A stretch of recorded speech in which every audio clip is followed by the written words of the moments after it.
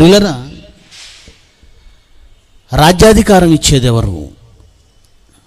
దేవాతి దేవుడా ఓటర్ దేవుళ్ళ? నిజంగా ఎన్నో జ్ఞాన సంగతులు రెండు దినములుగా మీరు వింటున్నారు. ఈ ప్రపంచంపై దేవునికున్న అధికారము ఈ ప్రపంచంపై దేవునికున్న పెత్తనం ఎంతటి గొప్పదో మీరు వింటూ ఉన్నారు. శరవేగంగా మారిపోతున్న క్రైస్తవ పరిస్థితులు. శరవేగంగా మారిపోతున్న సంఘపు స్థితిగతులు. ఈ చివరి దినాలలో ఈ అంత్యకాలంలో సంఘానికి సంభవించడానికి సిద్ధముగా ఉన్న లేదా ఇప్పటికే సంభవిస్తున్న అగ్ని వంటి మహాశ్రమలు. ఇవన్నీ మీరు కళ్ళారా చూస్తున్నారు ఇంకను చూడబోచున్నారు. అందరి మదిలోనూ అందరి హృదయాలలోనూ ఎంతో ఆందోళన ఏదో భయం. ఎందుకు అంటే ప్రపంచవ్యాప్తంగా క్రైస్తవ్యంపై చాలా దేశాల్లో వ్యతిరేకత అనేది పెళ్ళుబుకుతున్న కాలం ఇది. ఒక సిరియా క్రైస్తవ దేశమే. కానీ శత్రువుల చేత క్రైస్తవ్యం అక్కడ తుడిచిపెట్టబడుతుంది. ఒక తాలిబాన్లో క్రైస్తవులను క్షమించడం ఒక ఆఫ్ఘనిస్తాన్లో తాలిబాన్లు క్రైస్తవ్యాన్ని తుడిచిపెట్టారు. అనగా క్రైస్తవ్యాన్ని నాశనం చేశారు. ఒక ఈజిప్ట్లో క్రైస్తవ్యాన్ని తుడిచిపెట్టే ప్రయత్నాలు ఇప్పటికీ కొనసాగుతున్నాయి. ఒక చైనా రాజ్యాన్నేలే ప్రభువులే క్రైస్తవ్యానికి వ్యతిరేకులయ్యారు అనడానికి చైనా ప్రత్యక్ష నిదర్శనం. యేసుక్రీస్తు ఫోటో తీసేయండి నేనే మీ రక్షకుణ్ణి. నా ఫోటో పెట్టండి. నన్ను ఆరాధించండి అని ఒక చైనా అధ్యక్షుడు మాట్లాడడం మనం ప్రత్యక్షంగా చూస్తున్నాం. ఇక మన దేశానికి వస్తే గడిచిన ఐదేళ్ళలో క్రైస్తవులు అనుభవించిన ఉత్తర భారతదేశంలో కావచ్చు తెలంగాణలో కావచ్చు లేదా ఆంధ్రాలో కావచ్చు లేదా ఇతర రాష్ట్రాల్లో కావచ్చు అనుభవించిన శ్రమలు ఇప్పటికీ అనుభవిస్తున్న శ్రమలు ఇవన్నీ పరిగణలోనికి తీసుకుంటున్నప్పుడు అసలు ఏం జరగబోతుంది క్రైస్తవ్యంపై? అసలు ఏం జరగబోతుంది భవిష్యత్తులో అనే ఆందోళన మనలో సహజంగా గూడు కట్టుకుని ఉంటుంది. ప్రిలరా ప్రతిదానికి ఏది ఎందుకు ఎప్పుడు ఎలా జరుగుతుంది అను ప్రతిదానికి సమాధానం బైబిలే. బైబిల్ మాన్యువల్ అది ఈ ప్రపంచంలో ఒకటి సంభవించడానికి కారణం ఏంటో బైబిల్ తప్ప ఈ ప్రపంచంలో ఏ మేధావి చెప్పలేడు. ఈరోజు మన దేశంలో ఎవరైతే క్రైస్తవ్యాన్ని రెండు వేల ఇరవై ఒకటి కల్లా తుడిచిపెట్టేస్తామని శబదాలు చేసి ఒట్టు పెట్టుకున్నారో తిరిగి మళ్ళీ వాళ్ళే అధికారాలకు రావడం అనేది నిజంగా ఆందోళన కలిగించే విషయమే. అయితే ఎందుకు ఇలా జరుగుతుంది అనేది చరిత్రలోనికి మనం వెళ్ళాలి. ఒకసారి వెళ్ళాలి చరిత్రలోకి వెళ్ళాలి. ఒక సందర్భాన్ని మీకు ఈ రాత్రి పూట ముందుగా చూపించి నేను ముందుకు వెళతాను. యహోశివ గ్రంథం ఏడవ అధ్యాయం దయచేసి బైబిల్ ఉన్న ప్రతి ప్రతి ఒక్కరూ కూడా గ్రంథాన్ని తెరవండి.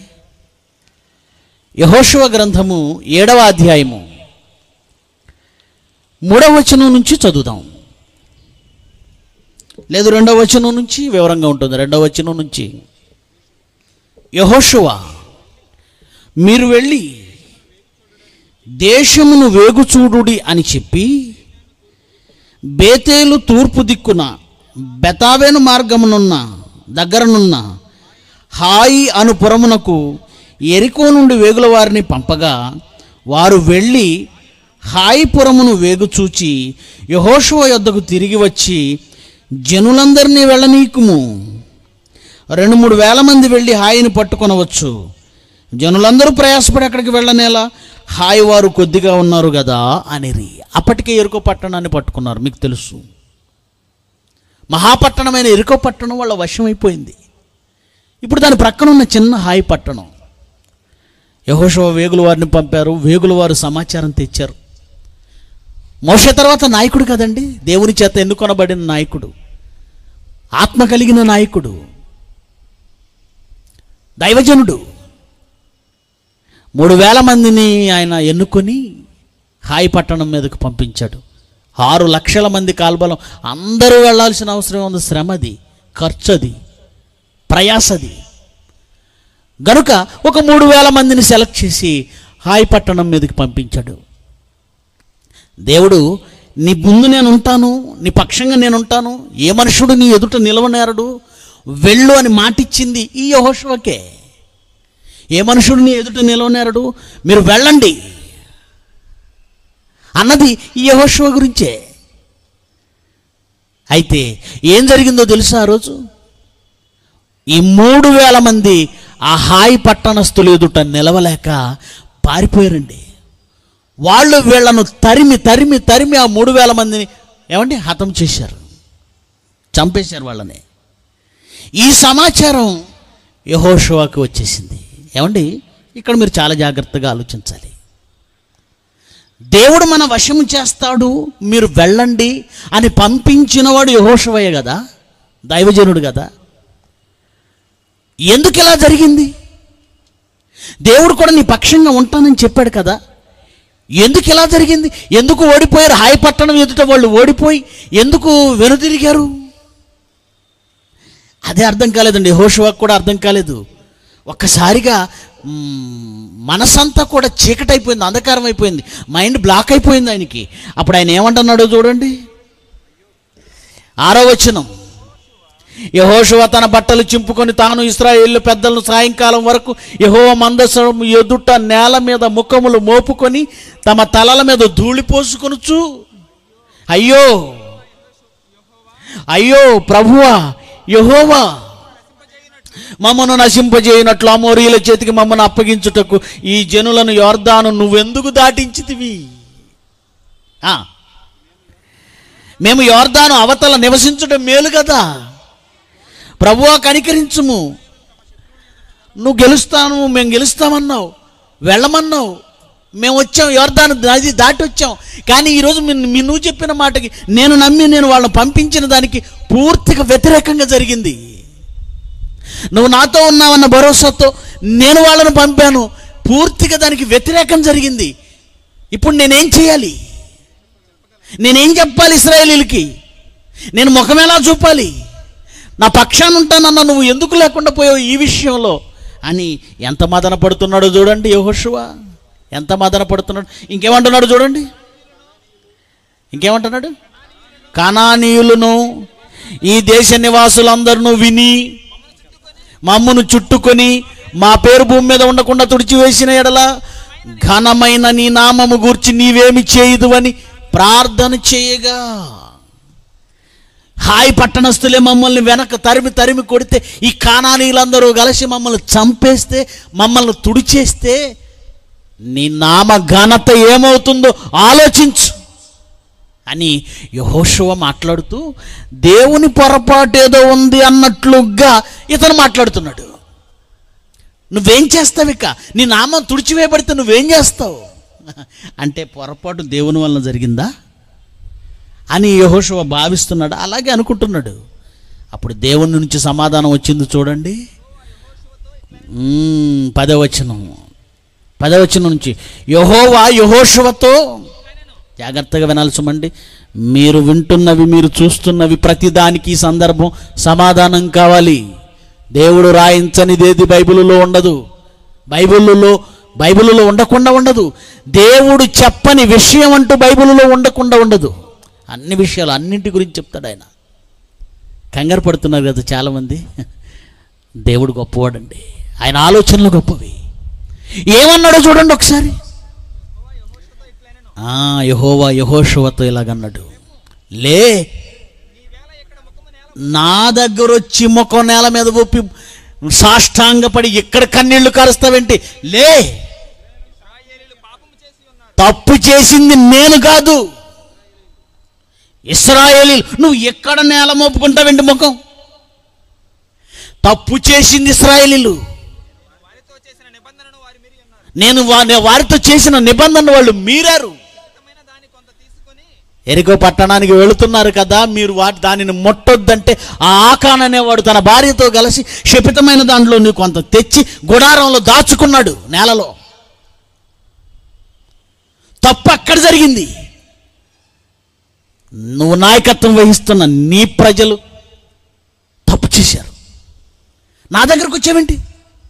అంటే ఇస్రాయేలీలలో ఎవరు తప్పు చేసినందుకు దేవుడు ఆ రోజు యహోశువ గౌరవం ఏమవుతుందో యహోశువ మాట ఏమవుతుందో అది కాదండి ఆయనకు ఇంపార్టెంట్ తన మాట ఎవడు నిలబెట్టలే లేదా తన నిబంధనలో ఎవరు నిలబడలేదో వాళ్ళపై తన ప్రకోపాన్ని కోపాన్ని ఆయన చూపిస్తాడు.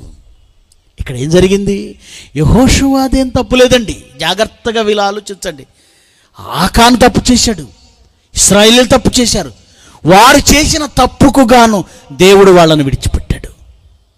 ఇక్కడ నేను ఒక ప్రశ్న అడుగుతాను. మీరు బాగా ఆలోచించి సమాధానం చెప్పండి.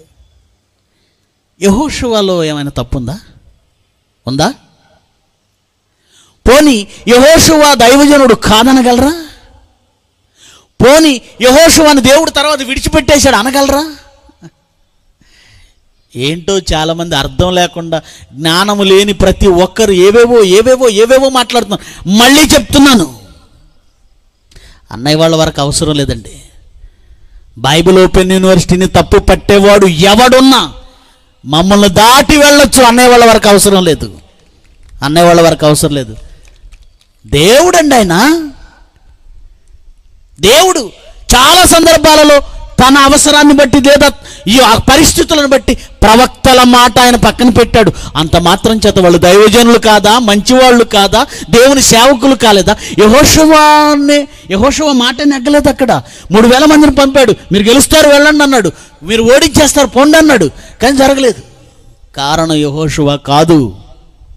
తప్పు యహోషువాది కాదు. నాయకుడిది కాదు. లోపల ఉన్నారు తప్పు చేసిన వాళ్ళు. అంటే ఈ సందర్భం మనకి ఎందుకు రాయించాడు తెలుసా? యహోశివా ఆ రోజు యహోశివా ఈరోజు మనం.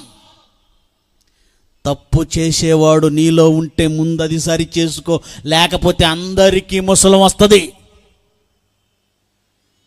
అది. యహోశివ నాయకుడు కాడని కాదు యహోశివ దైవజనుడు కాదని కాదు యహోశివాని దేవుడు పక్కన పెట్టాడని కాదు యహోశివ మాట వినడం లేదని కాదు యహోశివ మాట విని సూర్యచంద్రులను ఆపాడు ఆయన.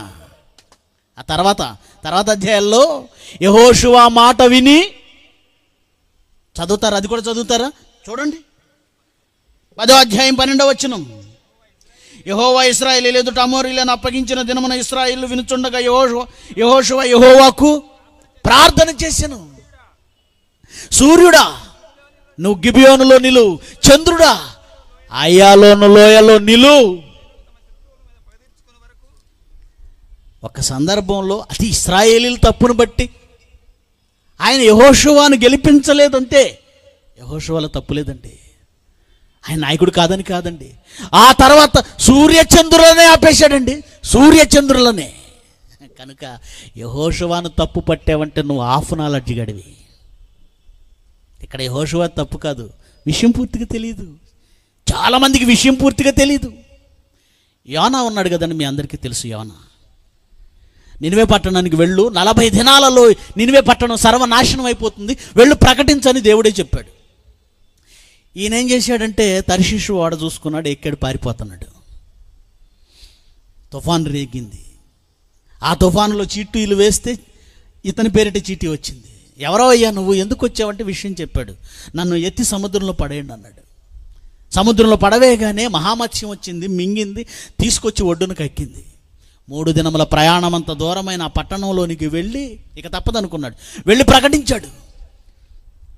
ప్రకటిస్తే రాజుతో సహా సింహాసనము దిగి గోనె పట్ట కట్టుకొని బూడిదలో కూర్చొని వారి చెడుదనతలన్నీ మానుకొని పశువులతో సహా నీరు కూడా ఆహారమే కాదు నీరు కూడా ముట్టకుండా వాళ్ళు దేవునికి ప్రార్థన చేస్తే పశ్చాత్తాపపడి దేవుడు తాను చేయదలుచుకున్న కీడును నినివే పట్టణానికి చేయకుండా ఆపేశాడండి. ఇదంతా బాగుంది. ఇలా నినివే పట్టణానికి చేయదలిచిన కీడు చేయకుండా మానేసేసరికి ఎవరికి కోపం వచ్చిందో తెలుసా? యోనాకు కోపం వచ్చింది. ఎందుకు వచ్చింది తెలుసా?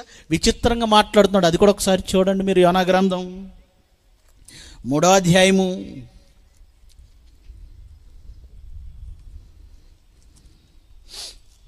యోనా గ్రంథము మూడో అధ్యాయము పదవచనం. నినివే వారు తమ చెడు నడతలు మానుకొనగా వారు చేయుచున్న క్రియలను దేవుడు చూచి పశ్చాత్తప్తుడై వారికి చేయుదనని తాను మాట ఇచ్చిన కీడు చేయక. మరి ఇప్పుడు ఏమైపోవాలి యోనా? విపరీతంగా ప్రకటించేసి నలభై దినాల్లో అయిపోతారు అయిపోతారు అయిపోతారు అయిపోతారని. ఏం కాలేదు. పాపం అదే కోపం వచ్చేసింది యోనా గారికి. యోనా గారు ఏం మాట్లాడుతున్నాడో చూడండి. యవనా దీనిని చూచి నాలుగో వచ్చిన నాలుగో అధ్యాయం మొదటి వచ్చిన యోనా దీన్ని చూచి బహు చింతాక్రాంతుడై కోపగించుకొని యహోవా నేను నా దేశమందుండగా ఇట్లు జరుగునని నేను అనుకుంటేనే కదా. అంటే ఇలా జరగాలి నేను చెప్పింది జరగాలి అనుకున్నాడు పాపం. అనుకుంటేనే కదా. అందువల్ల నీవు కటాక్షము జాలి బహుశాంతము. ఇలా జరుగును. అంటే ఇలాగే జరుగుతుంది. అంటే ఏమనుకున్నాడంటే మొదట తర్షిష్ వాడు ఎందుకు ఎక్కాడంటే ఈయన ఎలాగే అంటాడు బాబు నలభై దినాల్లో నాశనం చేస్తానంటాడు. తీరా వాళ్ళు మారిపోతే మళ్ళీ ఈయనకి కరుణ ఎక్కువ జాలి ఎక్కువ కనికరం ఎక్కువ. వాళ్ళు వాళ్ళు తా వాళ్ళు తప్పు తప్పులు ఒప్పుకొని పశ్చాత్తాపడితే వాళ్ళు గనక ఉపవాసం ఉంటే ఈయన చేయవలసింది చేయకుండా ఆపేస్తాడు. ఇదంతా ఎందుకు? మధ్యలో వెదవలయ్యేది ఎవరు? మనం. మిమ్మల్ని నలభై దినాల్లో నాశనం చేస్తాడు నేను ప్రకటిస్తాను. తర్వాత ఆయన జాలిపడి మానుకుంటాడు. మధ్యలో వెదవలం అయిపోయేది మేము. ఇదంతా ఎందుకని చెప్పి ముందే తర్శిషు వాడు ఎక్కాను. అదే అంటున్నాడు. ఇలా జరుగునని నేను ముందే అనుకున్నాను ప్రభువా. ఆ. అందువలన నీవు కటాక్షము జాలియు బహుశాంతము అత్యంత కృపయుగల దేవుడు ఉండి పశ్చాత్తాపడి కీడు చేయక మానుదువని నేను తెలుసుకొని దానికి ముందుగానే తరిశీషుకు పారిపోతిని. నువ్వు మళ్ళీ లాక్కొచ్చావు. నాకు నేను ఇక బ్రతుకుట కంటే అమ్మ మరి ఎంత రోషం. తన మాట జరగలేదని చూశారు. ఎక్కడి వరకు వెళ్ళిపోయాడు? నేను ఇక బ్రతుకుట కంటే అప్పుడు దేవుడు ఒక పాఠం చెప్పాడండి ఒక పాఠం చెప్పాడు. యోనా వెళ్ళి ఊరి బయట ఒక పందిరి వేసుకొని ఈ పట్టణానికి ఏం జరుగుతుందా అని చూద్దామని ఆ పట్టణం బయట పందిరి వేసుకొని కూర్చొని పడుకున్నాడట. దేవుడు ఒక సొరపాదును పుట్టించి దాని మీద అల్లుకునేలా చేశాడు. చక్కగా చల్లగా ఆ ఎండకు చల్లటి గొడుగులాగా అది చల్లగా ఉంది ఏసీలాగా. ప్రశాంతంగా హాయిగా సేద తీరాడు. అంతలోనే ఎండ కొట్టి అది మాడిపోయింది ఎండిపోయిందండి అప్పుడు తెగ కోపం వచ్చేసిందండి. మళ్ళీ ఎవరికి? యోనా గారికి. అప్పుడు దేవుడు అంటున్నాడు తొమ్మిదవ అప్పుడు దేవుడు ఈ సొర చెట్టును గురించి నీవు కోపించుట న్యాయమా? అని యోనాను అడుగగా యోన అంటున్నాడు ప్రాణము పోవునంతగా కోపించుట న్యాయమే. నా ప్రాణానికి సేద తీరుతుంది తీర్చుతుంది అనుకునేంతలో ఎండిపోయింది ఏంటిది నాకు ఉపయోగపడుతుంది అనుకునేంతలో ఎండిపోయింది దీని మీద కోపగించటం న్యాయమే. అప్పుడు దేవుడు అంటున్నాడు నీవు కష్టపడకుండా పెంచకుండా ఒక రాత్రిలోనే పుట్టి పెరిగి ఒక రాత్రిలోగా వాడిపోయిన ఈ సొర చెట్టు విషయంలో నీకు విచారణ పడుచున్నావే విచారపడుచున్నావే? నూట ఇరవై వేల కంటే ఎక్కువై లక్ష ఇరవై వేల కంటే ఎక్కువై కుడి ఎడమలు ఎరుగని జనము బహు పశువులు గల నినివే మహాపురం విషయంలో నేను విచారపడవద్దా. సొర చెట్టు ఒక రాత్రికి పుట్టి రాత్రిలో ఎండిపోతే నీకు బాధ కలిగితే? లక్ష లక్ష ఇరవై వేల మంది నా పిల్లలు ఈ పట్టణం ఈ పశువులు వాటన్నిటిని నాశనం అయిపోతే నాకెలా ఉంటుంది? నేను నాశనం కోరను యోనా. కనికరమనే కోరుచున్నాను కానీ బలిని కోరను. నీ మాట జరగలేదని ఒక్కటే ఆలోచిస్తున్నావు కానీ నేను అవసరాన్ని బట్టి నేను కొన్ని మార్చుకుంటాను. నువ్వు సేవకుడు కదా నా నిర్ణయానికి తల ఉంచు. అంత మాత్రం చేత యోనా సేవకుడు కాదా? ఆలోచించండి ప్రియులరా సేవకుడు కదా? వద్దు. ఎందుకు ఇలా జరిగింది అంటే యహోషువ యహోషువ విషయంలో జరిగిన దాని గురించి మళ్ళీ జ్ఞాపకం చేస్తున్నాను. ఆకాను అనేవాడు చేసిన తప్పును బట్టి ఆ రోజు దేవుడు వారికి అపజయం ఇచ్చాడు. ప్రిలరా ఈరోజు క్రైస్తవ్యంపై వారిని అంతమొందించాలన్న కసితో పగతో రగిలిపోతూ ఒట్టు పెట్టుకున్న రాజ్యాలే ప్రభుత్వాలే ఎందుకు మళ్ళీ నెత్తి మీదకి వచ్చాయంటే బైబిల్లో ఆయన రాయించిన సమాధానం చూపించి నేను ముగించేస్తానండి. యష్యా గ్రంథం ఐదవ అధ్యాయం. యష్యా గ్రంథం ఐదో అధ్యాయం మొదటి వచనం నుంచి. యషియా గ్రంథం ఐదో అధ్యాయం మొదటి వచనం నుంచి. దేవుని గురించి పాడుతున్నాడు. యషయా పాడుతున్నాడు. నా ప్రియుని గురించి పాడేదను వినుడి. అతనికి ఒక ద్రాక్ష తోట ఉంది. ఆ ద్రాక్ష తోటను బట్టి నాకు ఇష్టడైన వానిని గురించి పాడేదను వినుడి.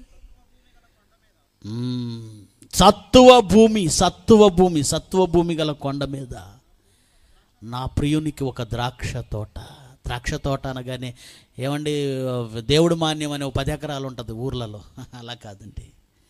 దేవుడు మాన్యం అనే ఓ పది ఎకరాలు ఇరవై ఎకరాలు ఉన్నట్టు దేవుడికి కూడా ద్రాక్ష తోటలు ఉన్నాయి ఏమనుకోకండి ఎరుసలేంలో ఆయన తన ద్రాక్ష తోట అంటున్నది ఇస్రాయలీల గురించి. ఆరో వచనం ఏడో వచనంలో చెప్తాడు. ఇస్రాయేలీలు ఇస్రాయేలు వంశం. సైన్యములకు అధిపత్యకు యహోవా ద్రాక్ష తోటది.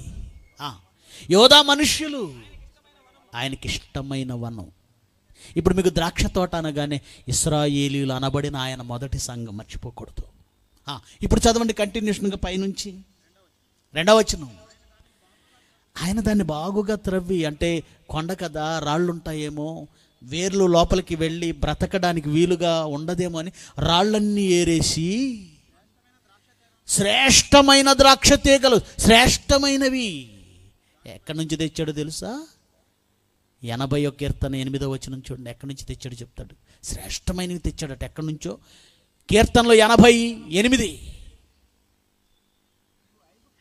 ఐగుప్తులో నుండి ఒక ద్రాక్ష వల్లిని తెచ్చితే ఎక్కడి నుంచి తెచ్చాడండి?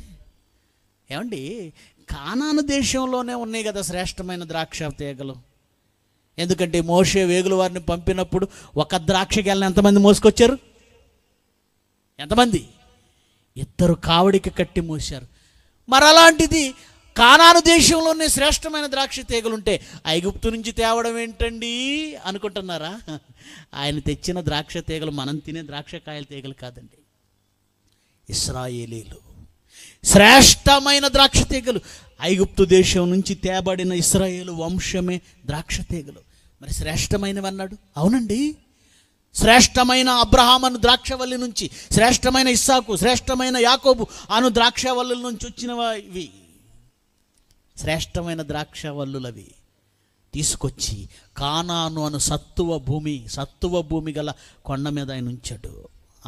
రాళ్ళ రాళ్ళను రాళ్ళ రాళ్ళను ఏరడం అంటే? ఆ ఎనిమిదో వచ్చిన కంటిన్యూ చేయవచ్చు చదవండి ఎనభై ఎనిమిది. ఎనభై అధ్యాయం ఎనిమిది కీర్తనల గ్రంథం. అది రాళ్ళను నేరేయడం అంటే వాళ్ళకి అడ్డంగా ఏ రాళ్ళు ఉన్నాయి అన్ని జనులను రాళ్ళు ఉన్నాయి ఆ రాళ్ళను అన్ని జనులను వెళ్ళగొట్టి దాన్ని నాటావు. రైట్ ఇప్పుడు మరలా యశయ గ్రంథానికి వద్దాం. యశయ గ్రంథం. రెండవ అధ్యాయ రెండవ వచ్చిన కంటిన్యూషన్ కిందకి చదువుతున్నారు. దాని మధ్య బురుజు ఒకటి వేయించి ద్రాక్ష తోట వేసాడట రాళ్ళు ఏరేసాడట దానికి మంచి సారవంతమైన నేలగా మార్చాడట అన్ని సఫరీలు చేశాడట. ఇప్పుడు బురుజు ఒకటి వేయించి ద్రాక్షల తొట్టి తొలిపించి ఎందుకంటే కాయలు వస్తాయి కాయలను ద్రాక్ష తొట్టిలో వేసి త్రొక్కితే ద్రాక్షారసం వస్తుంది. దాని దానితో వ్యాపారం చేయాలి. పం పంట వేసిన వాడికి ఫలం కావాలి కదండి. వ్యవసాయం చేసేవాడికి తగిన ప్ర తగిన ప్రతిఫలం కావాలి కదండి పంట రావాలి కదండి. అయితే ఏం జరిగింది చూడండి తర్వాత. ద్రాక్ష పండ్లు ఫలింపవలనని ఎదురు చూచుచుండగా ద్రాక్ష ఫలములు మంచి ద్రాక్ష ఫలములు కావాలని ఎదురు చూస్తున్నాడట దేవుడు. కారు ద్రాక్షలు కాసేట కారు ద్రాక్షలు కారు ద్రాక్షలు. కారు అంటే చేదు. చాలామంది స్త్రీలు వంట చేసేటప్పుడు దోసకాయ కూరలో వేయాలంటే దాన్ని కోసి కొంచెం చేతి మీద వేసుకొని రుచి చూసి తర్వాత కూరలో వేస్తారు. ఏ? చేదొస్తుందేమో. చేదొస్తే కూర అంతా చేదైపోతుంది అలాగే ద్రాక్ష కాయల్లో కూడా చేదు కాయలు ఉంటాయట దేవుడు అంటున్నాడు మంచి ద్రాక్షలు కావాలని నేను ఎదురు చూస్తుంటే కారు ద్రాక్షలు కాసాయి కంటిన్యూ. దేవుడు అడుగుతున్నాడు ఇప్పుడు కావున ఎరుషులేము నివాసులారా యోధావారులారా నేను వేసిన ఈ ద్రాక్ష తోట విషయం నాకు న్యాయం తీర్చండి. ప్రజా కోర్టుకి ఎక్కాడు దేవుడు. న్యాయము తీర్చండి. కంటిన్యూ నేను నా ద్రాక్ష తోటకు చేసిన దానికంటే ఇంకెవరైనా ఏమైనా చేయగలరా? ఎవ్వడు ఇంకేం చేయటానికి లేదు. ఎంత చెయ్యాలో అంత చేశాను. ఇంకేం చేయాలి దానికి? నేను నా ద్రాక్ష తోటకు చేసిన దానికంటే దానికి ఇంకేమి చేయగలను? ఇంక చేయడానికి ఏం లేదు. చేయవలసిందంతా చేశాను. అన్ని జనులని రాళ్ళను ఏరివేశాను. మంచి నీరు కట్టాను. వాక్యమని నీరు కట్టాను. ఎంత చేయాలంత చేశాను. ఇంకా దాని మీకు ఏం చేస్తాను అది ద్రాక్ష పండ్లు కాయునని నేను ఎదురు చూచుచుండగా అది కారు ద్రాక్షలు కాయుటకు కారణం ఏంటి? ఆలోచించండి. నేను నా ద్రాక్ష తోటకు చేయబో కార్యము చేయబో కార్యమును తెలియచెప్తాను వినండి అన్నాడు నేను ఒక నిర్ణయానికి వచ్చాను. వినండి దాన్ని ఏం చేస్తాను? అది మేసివేయబడాలి. పంట లేదు. కారు ద్రాక్షలు చేదు ద్రాక్షలు. నాకు పనికిరాదు. అది మేసివేయబడినట్లు. దాని కంచెను కొట్టి వేస్తాను. క్రైస్తవులకు దేవుడు కంచె వేస్తాడనే తెలుసు. ప్రభువా పడుకుంటున్నాను మంచం చుట్టూ బంగారు దేవదత్తలను కంచెగా నాటంటారు. ఎత్తడివి వినిపోయి వద్దా? పెట్టుకునే వాటిలో బంగారం కావాలి. ఏమంటే కంచెలో కూడా ఏం కావాలట? బంగారు దూతలే కావాలట. దేవుడు కంచె వేస్తాడు. యోబు దగ్గర అన్నాడు ఆ మాట. యోబు కంచె వేశాడు. కంచె అంటే రక్షణ వలయం. ఎల్ఓసి అని ఉంటుందండి. లైన్ ఆఫ్ కంట్రోల్ పాకిస్తాన్కి ఇండియాకి మధ్య ఒక బార్డర్ మీరు కొట్టుకోకండి అని ఐక్యరాజ్య సమితి వాళ్ళు గీసిన గీత అది. ఎల్ఓసి లైన్ ఆఫ్ కంట్రోల్ కంచె ఉంటుంది అక్కడ చూడండి. అలాగే ఓ పోలీసు క్వార్టర్స్ మీరు చూసినా కానీ దాని చుట్టూ కంచె కొన్ని కొన్ని ప్రాంగణాలు చూస్తే కంచె ఉంటుంది. అంటే రక్షణ వలయం అని కంచె అంటే. ఎవరు వెంటర్ కాలేరు. ఏమండి? యోబుకు వేశాడని నిన్ను నువ్వు కూడా అడిగేస్తావు కదా? జగన్ గెలిచారు అని సీఎం అవుతున్నారని జడ్ కేటగిరీ సెక్యూరిటీ ఇచ్చారు. ఇప్పుడు నువ్వు కూడా వెళ్ళిపోయి డీజీపీ దగ్గరకో ఎవరికో దగ్గరికి వెళ్ళిపోయి జగన్కి ఇచ్చావు జడ్ కేటగిరీ నాకు కూడా ఇవ్వంటే ఇస్తారేంటి? జగన్కి ఇవ్వడానికి కారణం ఉంది. నీకెందుకు ఇవ్వాలి? యోబుకి ఇవ్వడానికి కారణం ఉంది. నీకెందుకు ఇవ్వాలి? నీకెందుకు ఇవ్వాలి? యోబు యోబుకి ఇచ్చాడు కనుక మనకి ఇచ్చేమని అడుగుతాం అంతే. ఓకే ఇస్రాయలీలకు వేశాడట కంచె కానీ దేవుడు ఒక నిర్ణయం తీసుకున్నాడు. అది మేసివేయబడినట్లు దాని చుట్టూ ఉన్న కంచెను నేను తీసేస్తానన్నాడు. అది తొక్కివేయబడినట్లు దాని చుట్టూ ఉన్న ప్రహరీ గోడను పడగొట్టి దాని సర్వనాశనానికి అప్పగిస్తా అన్నాడు ఇది మేసివేయబడ్డం ఏంటి తొక్కివేయబడ్డం ఏంటి అనుకుంటున్నారా? నెబుకద్ నేచర్ బబులోను సామ్రాజ్యం.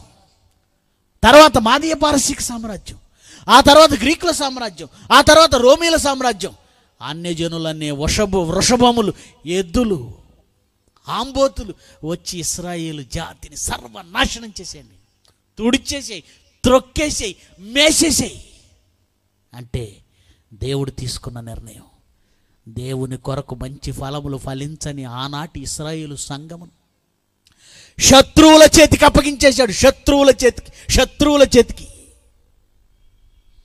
ఒక్క ఒక్క రాజ్యంతో పోలేదండి. బబులోను రాజ్యము తర్వాత మాదీ పార్శిక రాజ్యానికి కూడా అప్పచెప్పాడు. మాదీ పార్శిక రాజ్యం తర్వాత గ్రీకు సామ్రాజ్యానికి కూడా అప్పచెప్పాడు.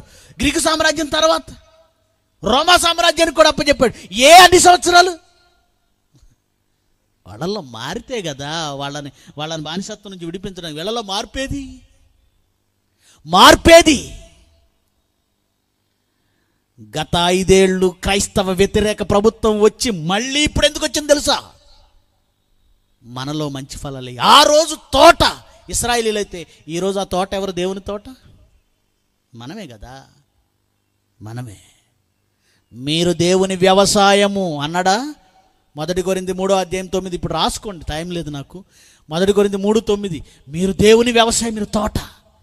ఆ రోజు మంచి ఫలములు లేని ఇస్రాయేలీలను శత్రువులకు అప్పచెబితే ఈ రోజు మంచి ఫలములు లేని క్రైస్తవ్యాన్ని ఏం చేయాలి మీరు చెప్పండి? దేవుడు న్యాయం తప్పడండి. వాళ్ళకొకటి మనకొకటి చేయడు ఏదండి? ప్రేమ సంతోషం సమాధానం దీర్ఘశాంతం దయాళుత్వం మంచితనం విశ్వాసం సాత్వికం ఆశానిగ్రహం. అవి మంచి ఫలాలు. ఒక్క ఫలం ఉన్న మనలో ఒక్క ఫలం ప్రేమ. హైందవ సోదరులు ఉన్నారనుకోండి ఏమండి? శ్రీరామనవమి పండుగ వచ్చిందనుకోండి. ఊరంతా ఒకే చోటకి వెళ్తారు ఒకే రామాలయానికి. అందులో ఎన్నో కులాలు ఉన్నాయి ఎన్నో వర్గాలు ఉన్నాయి ఎందరో ఏమండి? రకరకాలు ఉన్నారు కానీ ఒకే దేవుడి దగ్గరికి ఒకే ఊర్లో ఒకే రామాలయం వెళ్ళిపోతారు. రంజాన్ మాసం చూసారా ఊరికి ఒకే మసీదు. ఊరు పెద్దదైతే ఆ మసీదు సరిపోకపోతే ఇంకోటి కట్టుకుంటారు. లేకపోతే కట్టరండి మనలాగా వీధి వీధికి. రంజాన్ మాసంలో చూడండి నిజంగా వాళ్ళు ఆ పండగ రోజు లైన్లు లైన్లు లైన్లు లైన్లు నమాజ్ చేస్తుంటే వాళ్ళల్లో ఉన్న ఐక్యతకు ముచ్చటేస్తుందండి.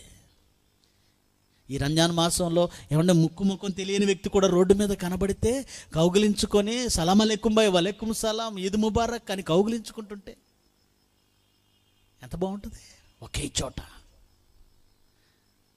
క్రైస్తవులకి ఒక పండుగ ఉంది క్రిస్మస్.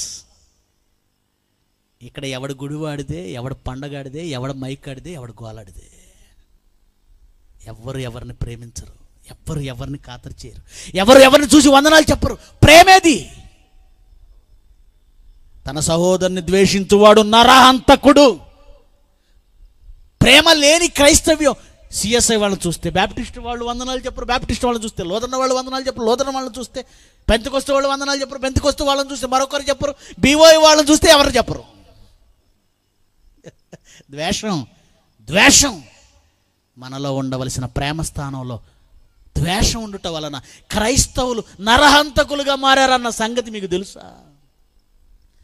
ఇలాంటి క్రైస్తవ్యం కొరక జగత్తు పునాది వేయబడక ముందే క్రీస్తును నిర్ణయించి ఆయన ఎదురు చూసింది ఇలాంటి క్రైస్తవ్యాన్ని చూడ్డానిక.